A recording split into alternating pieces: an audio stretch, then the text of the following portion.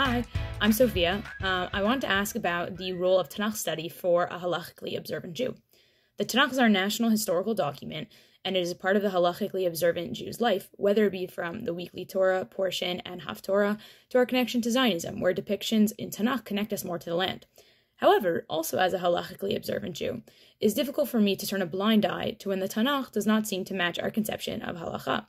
The classic example of this would be Ein Tachat Ein, an eye for an eye, in Sefer Shmot, but they appear all over the place. Avraham feeding the angels meat and milk together, uh, the Levirate marriage in Megillah Rut, not matching up to how it plays out in scenarios in the Talmud, even God's corporeality in Tanakh that is rejected in our modern conception of Jewish theology. How does the reader of Tanakh reconcile with the contemporary reality of halacha when halacha is supposed to have the Tanakh as its foundational text and source of knowledge? And yet our Jewish lives today are so different from the life that Tanakh demonstrates. Thank you. Hi, Sophia. Your question is a very interesting one. The relationship between narrative and law in the Torah, in the Tanakh. Let's start at the beginning. It's interesting that the Torah, at least in the book of Breshit, seems to suggest or seems to tell some stories that violate the normative halacha. For instance, as you mentioned, Abraham serves meat and milk to the angels slash people who come to visit him. Yaakov, our forefather Jacob, married two sisters. We're not the first people who've noticed this problem. The Ramban suggests that maybe Yaakov was allowed to marry two sisters because the law only applied to Abraham and Yitzchak and Yaakov in the land of Canaan, in the land of Israel. But outside the land, they were not limited by the law. And therefore, Rachel died, the Od Kivrat Eretz Lavo Ephrata, just before they were they entered the land, since he couldn't be married to two sisters in the land. But I think the real answer to that question is the fact that we have to distinguish between the narrative sections of the Chumash, of the Tanakh, and the legal sections. And the stories in Breshit, as Rashi tells us, they're really there not to teach us the halacha per se, but rather to teach us other lessons. The Ramban tells us, Ma'aseh Avot Siman Labanim, the purpose of the book of Breshit is to teach us lessons for future generations. So it's true, of course, that halacha comes up, and some things we learn from those early stories. The mitzvah pruervu, the mitzvah brit milah, the mitzvah gid hanasheh. But that's not the purpose of those stories. And therefore, we need to be willing and able to distinguish between the narrative and the legal sections of halacha. Thank you for your question and enjoy learning Tanakh.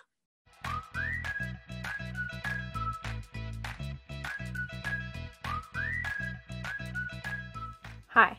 In Sefer Bereshit, during Brit Bein HaBetarim, Hashem tells Abraham that his offspring will be strangers and enslaved in a land that is not their own for 400 years, and that they won't return to in to inherit the land of Canaan until the fourth generation.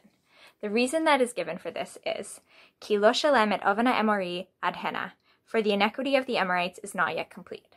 My question is, why is the inequity of the Amorites a reason for preventing Bnei from inheriting the land right away?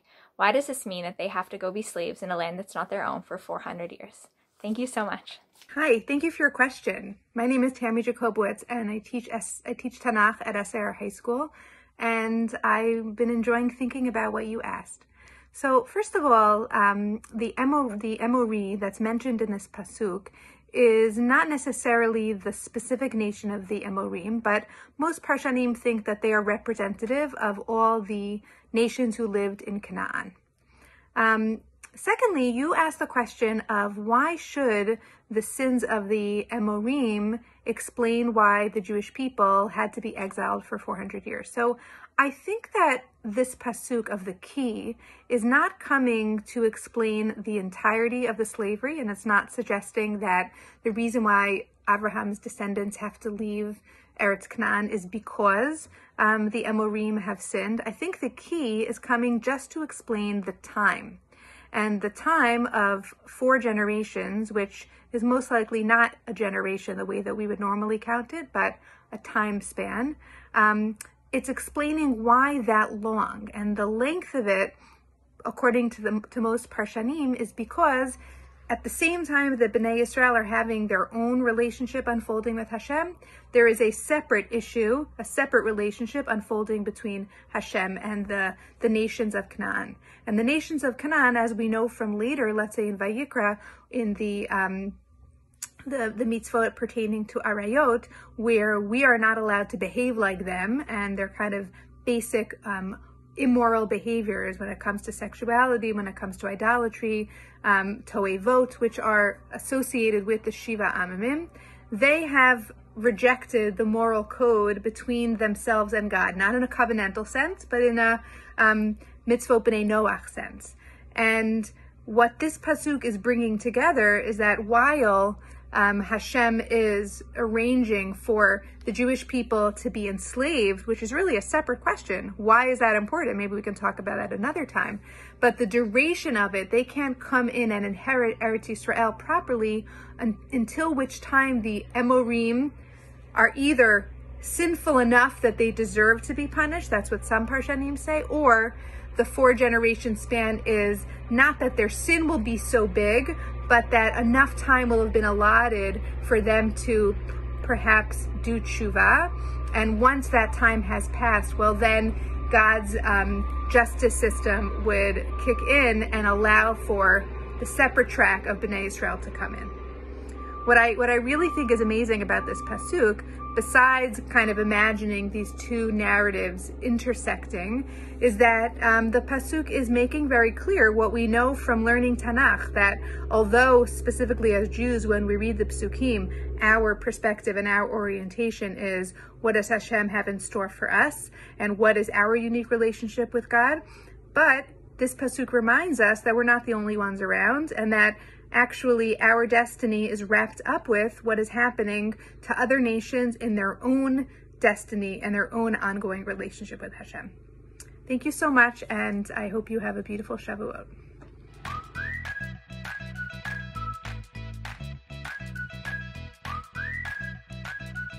Megillat Rut is an opportunity to see a number of areas of halacha in action, including Hilchot Yibum. In theory, the children of a Levirate marriage, like the one between Ruth and Boaz, are supposed to be attributed to the woman's deceased first husband. But when baby Oved is born at the end of the Megillah, the neighbors don't say Yulad ben Lemachlon, they say Yulad ben Lenaomi. What should we make of this attribution of the baby to Naomi, to whom he is not actually related by blood at all? Is it just a symbolic thing, a comfort to a bereaved mother and potential grandmother? Or does she take on real status as Oved's mother? And what would that mean? Hi, Zava. Thank you so much for such an insightful and thoughtful question about Naomi and about the attribution of the child that's born as being Yulad ben Naomi. Um, you know, I think your question and the closing psukim of Parak Dalet of Megillah Rut in general highlight a tension that runs throughout the Megillah from the very, very beginning, which is resolved here.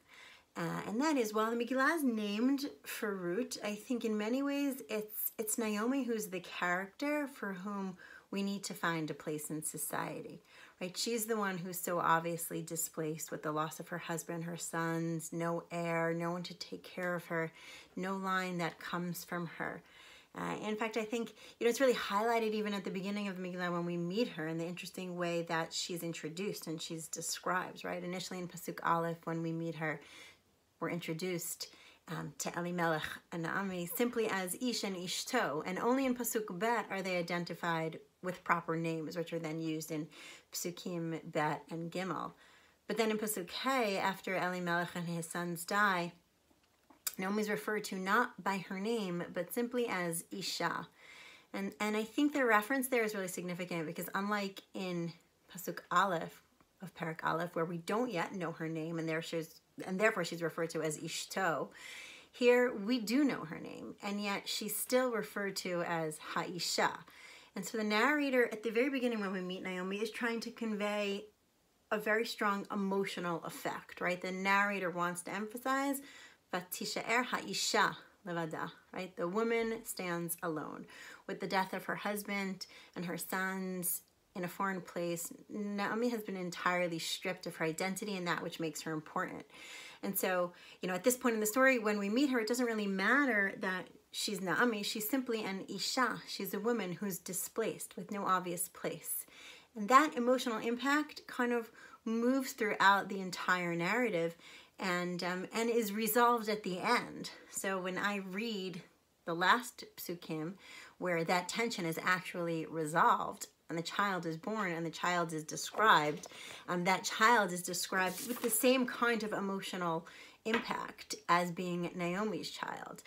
Uh, you know, throughout when we think about Yibum, the Megillah throughout doesn't really operate within the strict context of halachic laws of Yibum. Actually, it's never described as yibum throughout. We don't see that verb. We don't see that terminology.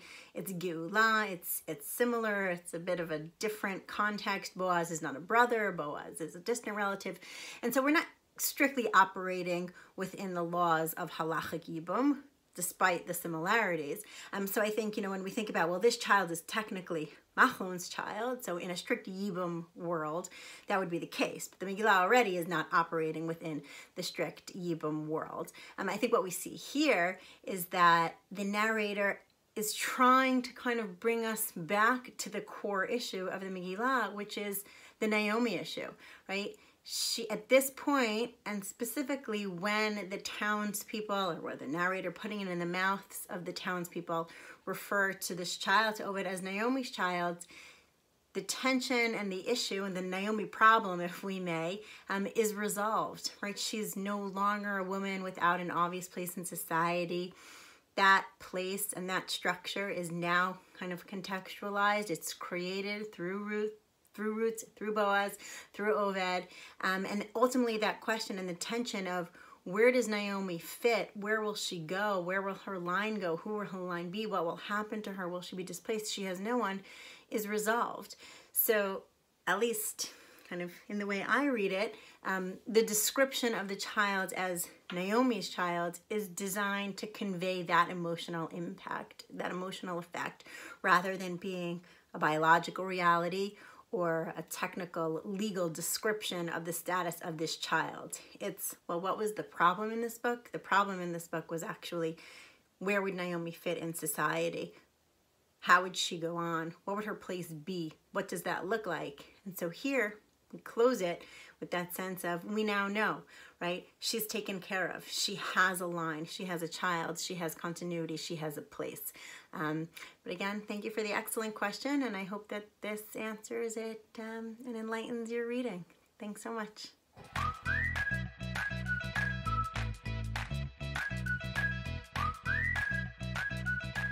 Hello, my question is with regards to King Asa in Sefer Divrei Hayamim Bet.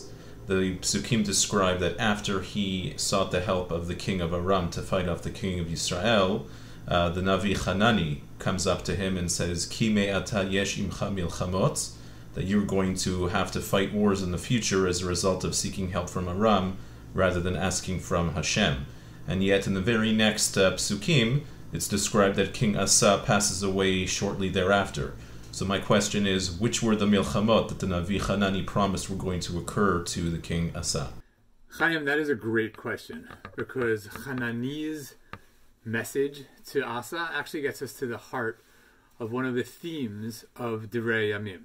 And that theme is that kings who rely on God alone thrive, and those who don't and rely on others fail. Now, Asa is already a complicated figure in this regard. Just two prakim earlier, we read the story of Zerach the Cushite, who invaded with a million soldiers. And at that point, Asa said, Ein imchal azor ben rav le'en koach, ozreinu Hashem Elokeinu, ki alecha nishanu, v'shimcha al hamon hazeh. Turns to God and says, we're only relying on you. And God immediately saves the people. That was in Perak Yudalid in 14. Now in 16, Asa turns to Ben Hadad, the king of Damascus, for help against Baasha, the king of Israel. Now, this succeeds. Ben Hadad and Asa successfully drive off Baasha. But as Chaim, as you say, at this point, Hanani shows up and says that as a result of this distrust in God, Asa must fail. He must lose in subsequent wars. And he has to. Uh, we understand that because without that failure, we would have an example of a king who didn't rely on God and yet succeeded. Now, Chaim, your point is well taken. We don't read about these wars. We don't read of wars in which Asa fails. Now, Divrei Yamim does say, and just a couple lines later, that there's more in the sources than than uh, than it's telling us. In this case, and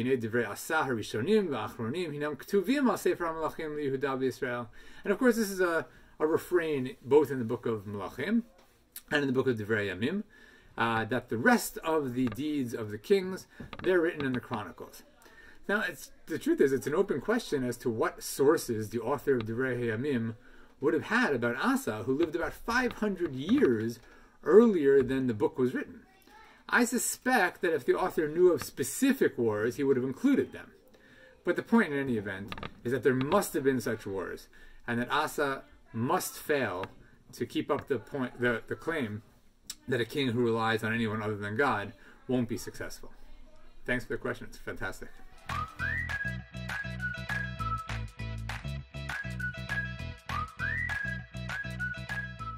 Book of Iyov starts with Iyov being visited and sort of comforted by three friends.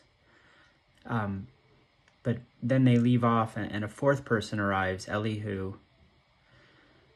And at the end of the book, there's no mention of Elihu as one of the comforters.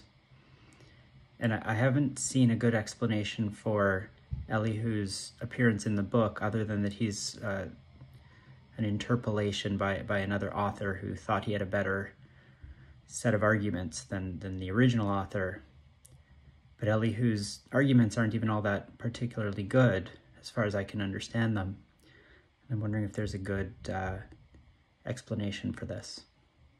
Hello, I'm Nathaniel Berman, and I want to speak to Steve's excellent question about the identity of Elihu in the book of Job. Um, as Steve pointed out, Elihu kind of mysteriously appears towards the end of the book, gives a set of speeches, and then disappears and is never mentioned again. And uh, this has given rise to some speculation about whether the whole Elihu episode is an interpolation by a later author.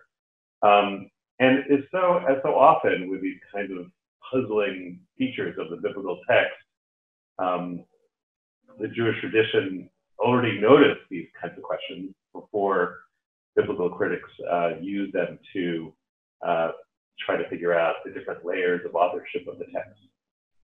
And the identity of the mysterious Elihu gave rise to a lot of interesting speculations um, at different stages of the tradition.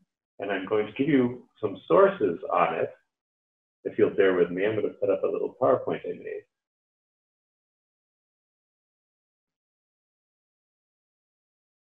So, who was the mysterious Elihu, the son of Berachel, the Buzite of the family of Ram, or in Hebrew, Elihu ben Berachel Habuzi, Mishpachat Ram. I'm going to give you two sources on this. One is from a 13th century Midrashic collection called the Yalkut Shimoni, which um, gathers Midrashim from earlier times um, of uncertain dates. And the Yalkut actually gives two different views about it. So first, in the name of Rabbi Akiva, Rabbi Akiva founded Elihu is Bilam. Bilam, who is, of course, a, a, a negative figure uh, in the Torah. Um, and they explain his name, the name of Elihu, in terms of the features of Bilam. The son of Berachel, for he came to curse Israel, and God blessed them. Berachah. The Buzite, for his prophecy, was despised, Bazui, of the family of Ram, from Aram. So a completely negative uh, character, although Bilam is a very strange character in the Bible because he, on the one hand, wants to do harm to Israel. On the other hand, he seems to have some kind of relationship to God and actually speaks God's word when it when it comes down to actually seeing the people of Israel. It turns out Rabbi Akiva is not alone. In the same uh, midrashic passage, we have a very different view. Rabbi Eliezer said, Elihu is Isaac, Isaac the son of Abraham. Ben Barachel, for God blessed him. Barachot. The Buzite, for he despised Bazah, idolatry, when he was bound. Of the family of Ram, of the family of Abraham. And we know that Abraham's original name was Abram, Abram. So here we have two very, very different ideas about Elihu. One is that he was this uh, non-Jewish prophet who was also portrayed as an evil figure. And the other is that he was Isaac, the son of Abraham, one of the forefathers, one of the patriarchs. Um, one might say that Isaac is also something of an ambiguous or ambivalent figure in the Torah. On the one hand, he's one of the patriarchs. On the other hand, he does have to suffer this terrible experience, terrible ordeal of being bound and in fear of his life. Um, he also later on favors his uh, son uh, Esau, Esau instead of the instead of Jacob, who's the forefather of the Jewish people. Um, and this partiality of Isaac for for his son Esau is something that has given rise to a lot of commentary in the tradition and outside of it. Um, so Elihu is this this strange figure, and I think the rabbis here, the authors of these midrashim, are wrestling with who is this figure, and the fact that there are these two really opposite uh, images of him, that he's Bilam, that he's Isaac. It's a very, very strange feature. Really trying to figure out who he is and the perplexity of who this figure is. Of course, the very name Elihu suggests a mystery. Elihu, if you divide into two words, would mean he is my God. Would be one way of actually translating the term Elihu. Um, I'd say that the, the, the both Bilam and Isaac have their downside and their shadow side.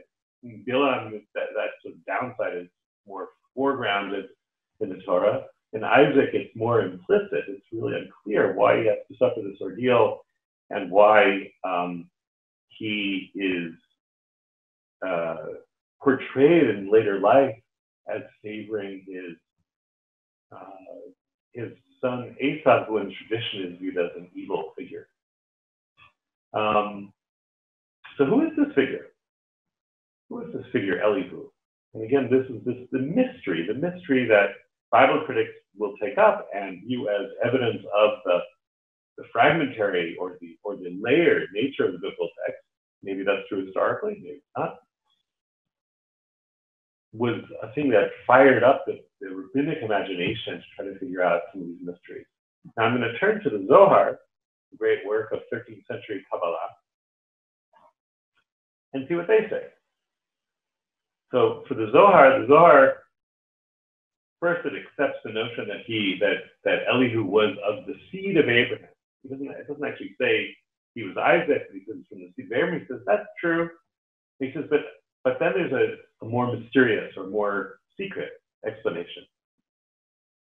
It says Elihu was a priest of the seed of Ezekiel the prophet. And partly it's because Elihu is called Habuzi, the Buzite, and Ezekiel is called Ben Buzi, the son of Buzi. And so they make that connection to associate Elihu with Ezekiel, who's one of the most visionary prophets um, in the whole uh, in the whole Bible. And it gives a, a, number of commentaries about Elihu's name. And I'm just going to give you a couple of them here. Of the family of Ram. Now, Ram literally means elevated. And the, and the Zohar comments superior to all. And then it goes on. Why was he called the Buzite, Abuzi? For he abased, mivazeh, himself in relation to anyone greater than him.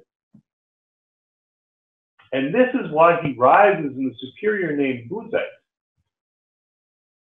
the one who is called the human being perfect in everything.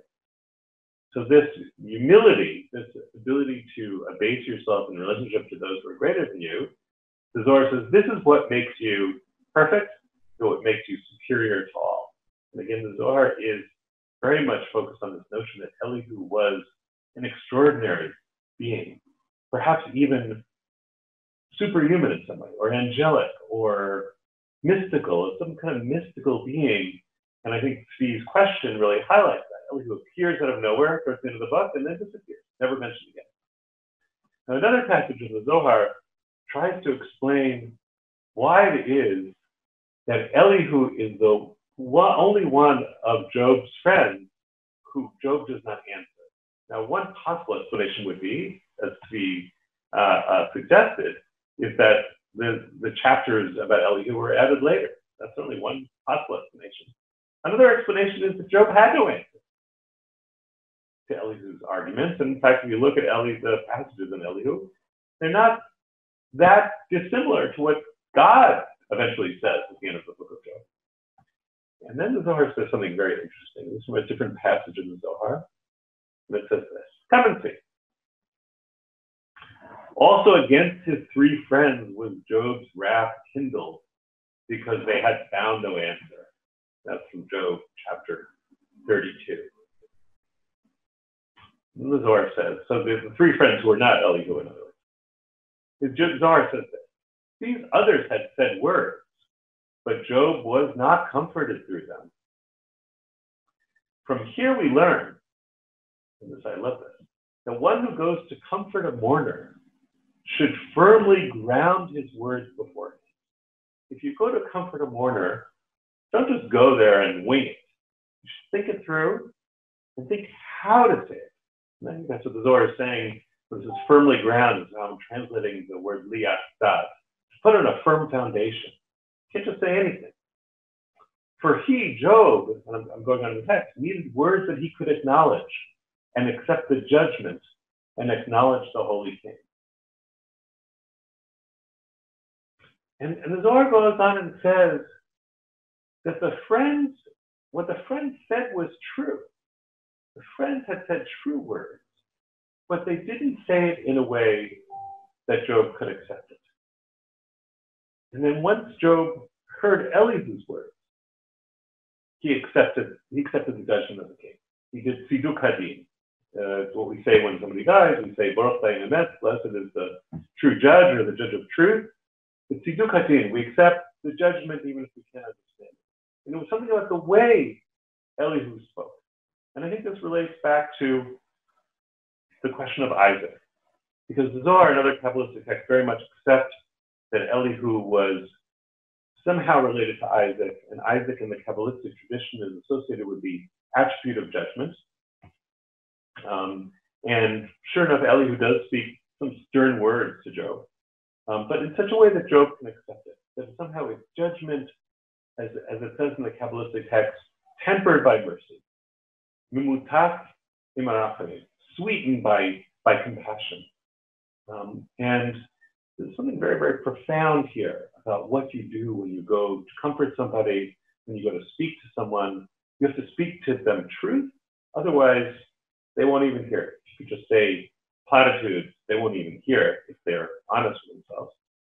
And if you're too harsh, also won't hear.